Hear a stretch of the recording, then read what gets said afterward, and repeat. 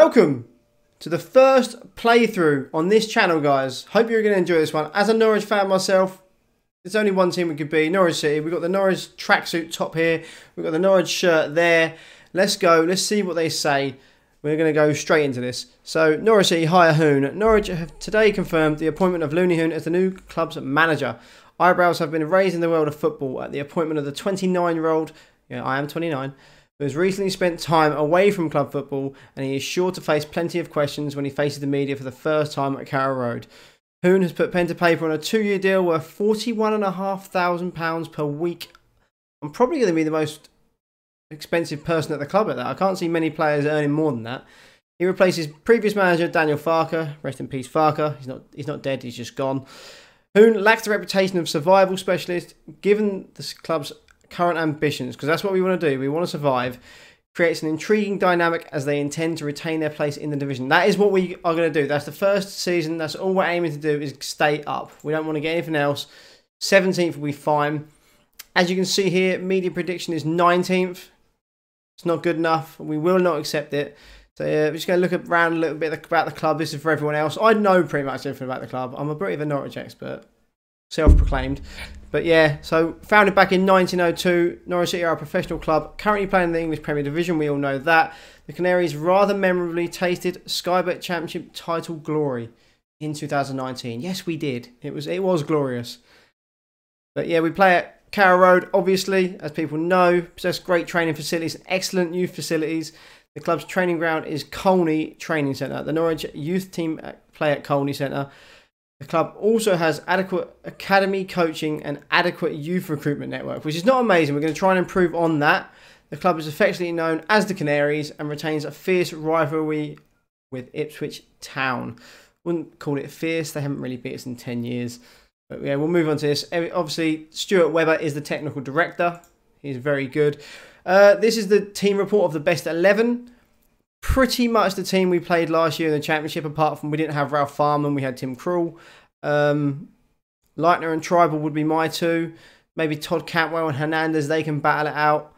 Uh, these are the transfer obli obligations we've got. We've uh, loaned Patrick Roberts, Ralf Fährmann, and Ibrahim Amadou on loan out of the club. We've got James Husband, Sean Raggett, Louis Thompson, Rocky and Bullwinkle, Carlton Morris, Savvas Mourgos, who I'm unsure who is, uh, Charlie Gilmour, Diallang Jaiyesimi, no idea who he is, and some more. We've got quite a few players out on loan. We'll ignore that. We don't need to see that. So here we go. We're going to have a little chat with Delia. Um, this is the club vision for the next five years. So the club culture, develop players using the club's youth system, I look to do that anyway. Play possession football, we can try that. And sign players under the age of 21 for the future. I do like a wonder kid. It's got to be said. Um, so the five-year plan, ongoing, work within the wage budget. Uh, finances aren't the best thing at Norwich. We, we haven't got a lot of money, so we're going to do our best to try and keep the budget down. Um, end of this current season, they want us to fight bravely against relegation. So I don't think they will mind if we do get relegated, but we will not be relegated, I promise you. They want us to get to the fourth round of the FA Cup and the Carabao Cup, which is fine. Uh, next season, just attempt to remain in the division again. So for the next two years, and possibly three or four, so next four or five years, all they want is us to stay in the division.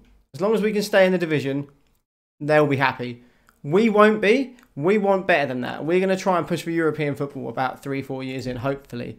Uh, we won't do any of this. We'll just skip straight through this. We'll just have a little quick look at the team, meet the team and stuff. We'll save it there and we'll carry on. But yeah, I'm, I'm excited to do this, guys. I'm uh, just going to go around the club, have a little look at things for the first episode, and then in the second episode, we'll get into the games. We'll start buying some players, maybe offloading some dead wood.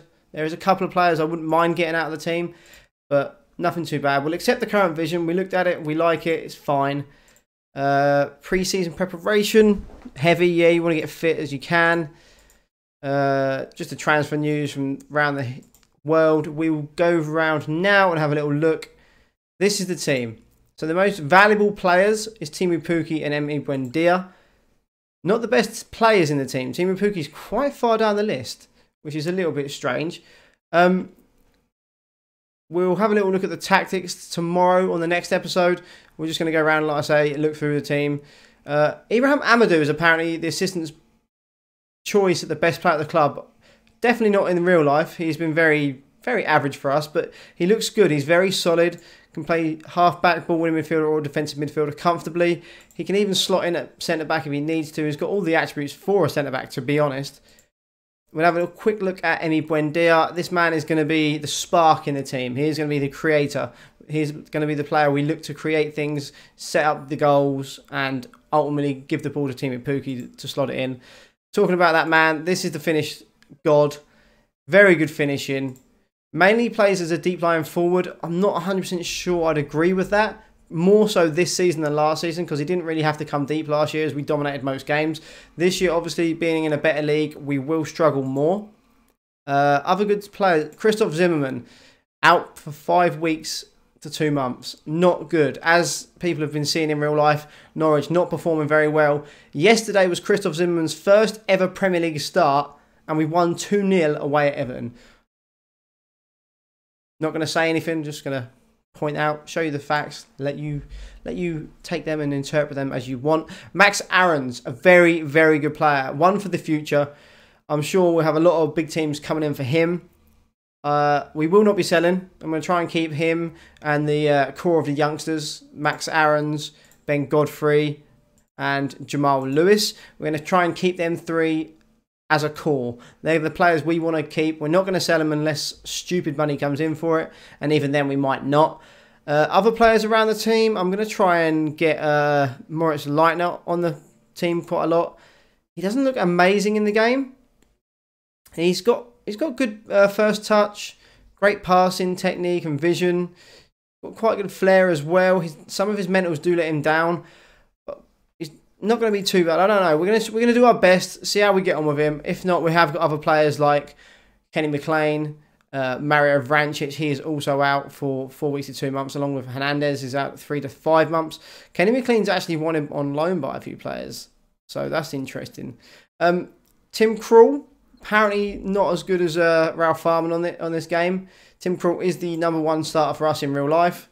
I'm going to stick with him. Ralf Fährmann I just see why has he got a backup status? That is absolutely ridiculous.